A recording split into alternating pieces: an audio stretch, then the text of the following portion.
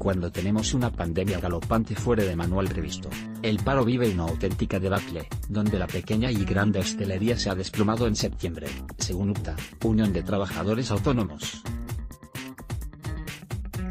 La gran empresa, asegura que van a caer muchas de ellas.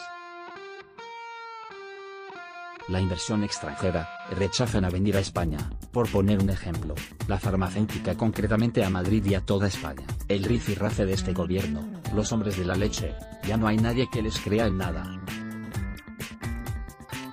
El gobierno quiere apoderarse de Madrid. Esta frase entrecomillada no la expreso como admiración, sino, como indignación e ir ante unos hombres que solo quieren hundir a Madrid, que conlleva a toda España. Este conflicto de intereses de este gobierno comunista social les alarman de manera insospechada para invertir en España a los inversores internacionales. A estos les preocupan los rifirrafe atronadores, no solo en España, sino en toda ella, donde estos hombres de mala uva, o de la mala leche quieren asfixiar el tejido industrial, el caos, la confusión y el desorden de un gobierno acá para toda la insensatez, el capital inversor y las grandes compañías internacionales tienen enorme razón para no invertir en España. Todo el mundo conoce el poco respeto a la corona, a las instituciones e incluso a las Fuerzas Armadas, y, si encima por una falta de saber estar de este gobierno tenemos el COVID-19 entrando por las rendijas de nuestras casas, de los centros de mayores y donde este bichito entra como por su casa en los hospitales.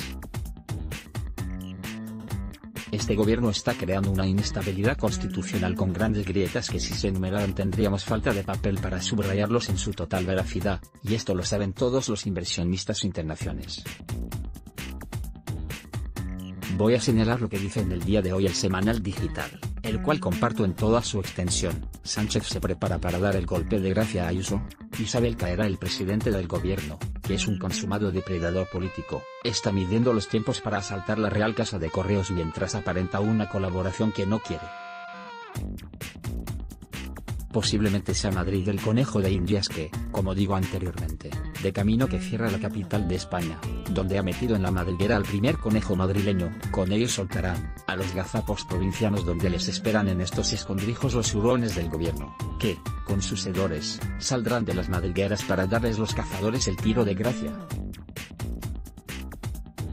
De dos que contienden, el más sabio cede. Y a este último se la clavan por detrás.